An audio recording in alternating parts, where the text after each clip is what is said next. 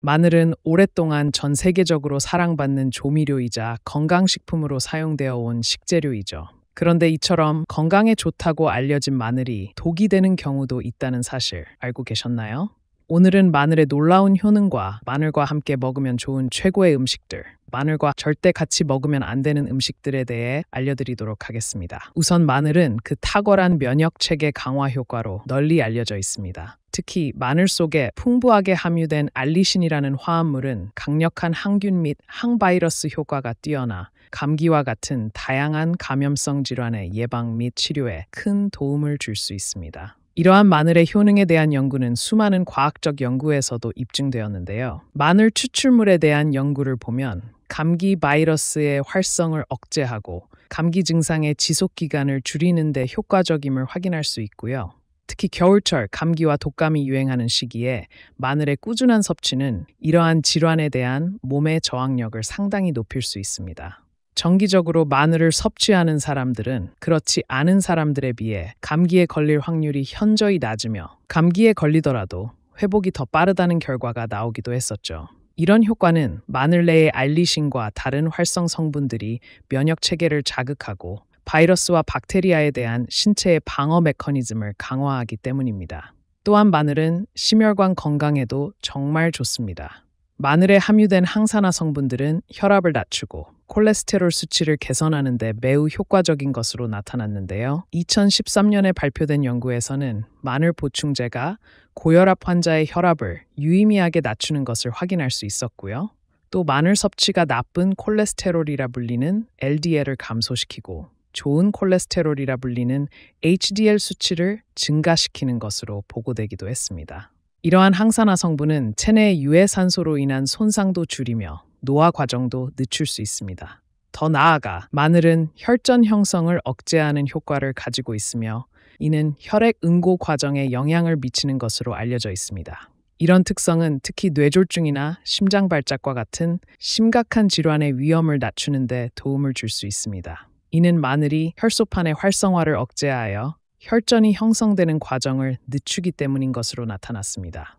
마늘은 암 예방에도 매우 좋습니다. 마늘에 포함된 다양한 화합물들은 암세포의 성장을 억제하고 암세포가 죽도록 유도하는 능력을 가지고 있기 때문인데요. 특히 위암, 대장암 등의 위험을 줄이는데 효과적인 것으로 연구에서 보고되고 있습니다. 마늘의 항염증 특성도 주목할 만합니다. 만성염증은 다양한 비감염성 질환의 주요 원인 중 하나로 꼽히는데 마늘은 이러한 만성염증을 감소시키는데 도움을 줄 수 있습니다. 이는 관절염과 같은 염증성 질환의 증상 완화에 도움이 됩니다. 마지막으로 마늘은 체중 관리에도 좋습니다.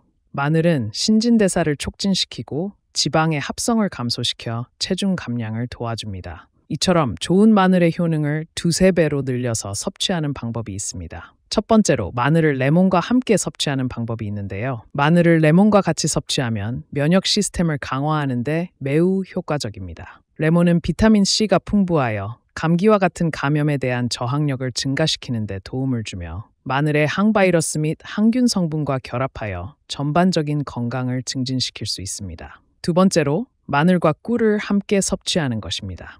이 조합은 특히 면역력 강화에 도움을 줄 뿐만 아니라 염증을 줄이는데도 효과적입니다. 꿀은 자연스러운 항염증제로 작용하고 마늘은 자연의 항생제 역할을 하여 둘을 함께 먹으면 호흡기 문제와 감염에 대한 천연 치료제로 사용할 수 있습니다. 세 번째는 마늘과 생강입니다.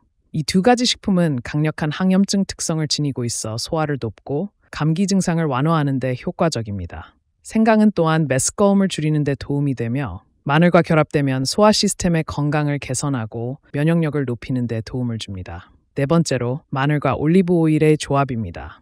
이 조합은 심장 건강에 아주 좋은데요. 올리브 오일은 심장에 좋은 단일 불포화 지방산이 풍부하고 마늘은 LDL 콜레스테롤 수치를 낮추는 효과가 있어 두 식품을 함께 섭취하면 심장 질환의 위험을 줄일 수 있습니다. 다섯 번째로 마늘을 아보카도와 함께 섭취하는 것도 좋습니다. 아보카도는 심장 건강에 좋은 지방과 섬유질이 풍부하여 혈관 건강을 증진시키는 데 도움을 주기 때문에 마늘과 함께 아보카도를 섭취하면 몸의 염증 반응을 줄이고 전반적인 건강을 향상시키는 데 도움이 됩니다. 다만 이처럼 좋은 마늘이라고 해도 이런 경우에는 우리 몸에 독이 될 수 있는데요. 첫 번째로 마늘과 우유를 함께 섭취하는 것은 피하는 것이 좋습니다. 이 조합은 일부 사람들에게 소화불량을 일으킬 수 있으며 우유가 가진 칼슘과 다른 미네랄이 마늘에 함유된 황화합물과 반응하여 소화 효소의 작용을 방해할 수 있습니다. 이로 인해 소화 불편이나 가스 형성,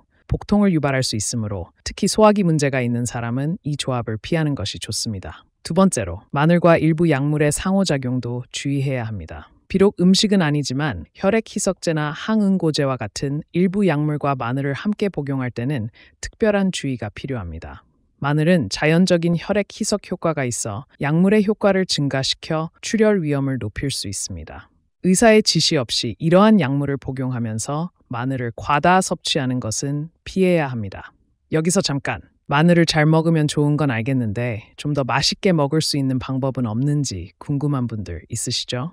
마늘을 맛있게 먹는 몇 가지 방법들도 같이 알려드리겠습니다. 첫 번째로 마늘 토스트를 만드는 방법입니다. 가장 간단하고 인기 있는 방법 중 하나는 마늘 토스트를 만드는 것입니다. 신선한 마늘을 잘게 다져 버터나 올리브 오일과 섞은 후 바게트나 식빵에 발라 오븐이나 토스터에서 구워내면 바삭바삭하고 향긋한 마늘 토스트가 완성됩니다. 소금과 허브를 추가하면 더욱 맛이 풍부해집니다. 두 번째는 마늘 기름을 만들어 먹는 방법입니다. 마늘 기름은 요리 시에 다양하게 활용할 수 있습니다. 깨끗이 손질한 마늘을 올리브 오일에 담그고 약한 불에서 천천히 익혀 마늘의 향을 오일에 흡수시키면 됩니다. 이 마늘 기름은 샐러드 드레싱, 파스타, 스테이크 등 다양한 요리에 활용할 수 있습니다. 세 번째는 로스팅 마늘입니다. 오븐에 통마늘을 통째로 구워내면 겉은 바삭하고 속은 부드러운 roasted 마늘을 만들 수 있습니다. 이 방법으로 마늘을 먹으면 마늘의 매운맛은 줄이고 달콤하고 creamy한 맛을 느낄 수 있고요. 로스팅된 마늘은 빵에 발라 먹거나 마요네즈와 혼합하여 샌드위치 스프레드로 사용할 수 있습니다. 네 번째는 마늘 요리입니다.